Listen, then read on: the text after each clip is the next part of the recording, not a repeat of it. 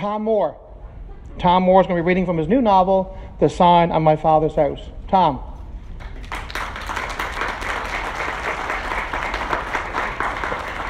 As my truck descended toward the boat, so did my heart in my chest. I began to sweat and shake. I gripped the wheel with both hands and gasped for breath. Then a big old sob came out of me, and I knew I was in trouble. I put my foot down on the brake and stopped my journey to law school. I turned into the parking lot of a small diner with a sign over the door that said, Last stop for a ferry. I parked the truck where I could see it and I walked in. A bunch of people were inside, probably waiting for the boat. But an eerie quiet pervaded the room, as if a robbery were in progress. People moved about and went out the door with eyes averted. Then I saw why. Over by the coolers, on the other side of the pool table, were two large, unkempt men who appeared to be part of a motorcycle gang. Were there Hells Angels in Port aux Basques? They finished their game of pool and stood around for a minute exchanging a few words. Then they hugged loudly and slapped each other on the back. Black leather backs. One of them swung around on thick heels and staggered out, swaggered out the door. I could see a fellow jumping out of his way before the door slammed shut. The other biker looked sadly at the door and sat down at the little table, now with an empty chair. I went to the counter and ordered a big plate of french fries, gravy, and a large Coke. Out in the parking lot, we could hear the departing angel revving up his machine. The floor vibrated under my feet, and the window rattled like an Apollo moon launch. There was no place to sit, so I went over to the earthbound angel. Any port in a storm. Can I sit here? I asked. He nodded without looking up. So I sat and I ate my fries. Every now and then I'd glance out the window. Are you expecting company? He asked. No. I'm just checking on my truck. Catching the ferry? He placed a large steel helmet on the table beside my fries. It was a replica of the standard German army issue. I guess it was a replica. He ran his fingers through thinning hair and looked at me.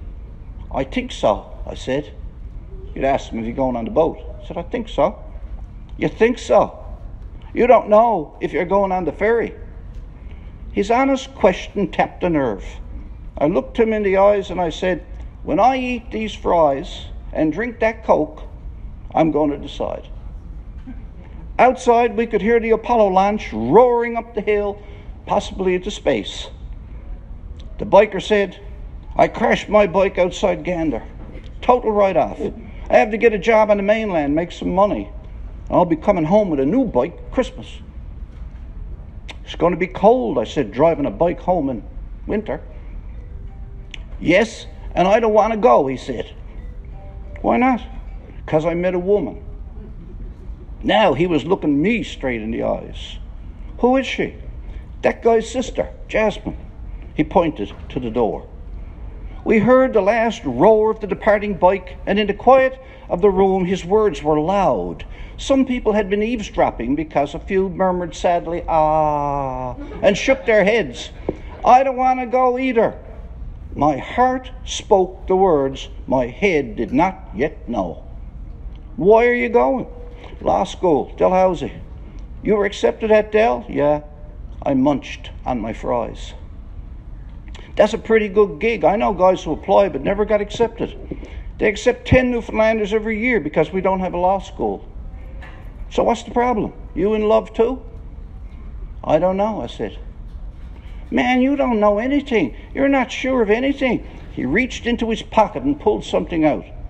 The room went silent, and people craned their necks to see what it was, but it was only a small brass case from which he extracted a business card and handed it to me. The words, You have assisted the peace angels, were printed in raised red lettering on a white background. It reminded me of Father's sign on the house. On top was a peace sign, and below was a cycle with angel's wings.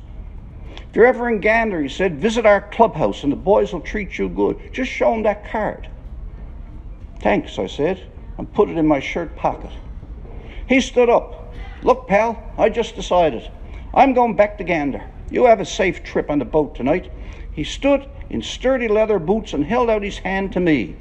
He was tall, with wide shoulders and a lanky build. How are you going to get there? I asked. Hitchhike. I'll be there by dawn. He smiled like he was just learning how to do it. A voice came across the room. I can take you as far as the Kippens turnoff. A buck tooted fellow had been listening from another table. He wore a red plaid shirt and a baseball cap proclaiming some brand of beer. That's a good start, someone said. The other patrons nodded their approval. I was offered a fellowship at Memorial, I said. Customers nodded and considered this option. That's great. They pay you to study, and you could stay at home, the biker said. Then why pay your own way to live with strangers? The buck tooted fellow said. My Coke was all gone. I reached to the round cardboard plate and took up the last french fry. I studied it for a moment, and then I popped it into my mouth, and I heard myself say to the biker, I can take you all the way to Gander. I had put a sign up on my own house. Sometimes there's a point in life when you are sure you made the right choice. The mind floats in a Zen like peace the sweet spot of existence. A rush of adrenaline surged through my veins. The greasy spoon customers broke into cheers and applause. Some of them followed the biker and me out into the parking lot. He tossed a duffel bag into the back of the truck and we boarded her like newlyweds, embarking on life. Bucktooth stuck his head in the driver's window and said, You got a slack tire there on the front. Have it looked to before you go. Garage, mile up top of the hill. They all waved to us and we waved back as we drove away. We downed the windows. I tooted the horn. Why not? I thought, why the hell not? I was traveling with a rough and ready biker, a lover, a renegade. For the first time in my life, I was a renegade. Bigger, stronger, greater. The sign was up on my house, and father would be proud. Thank you, Ed. Got it, buddy.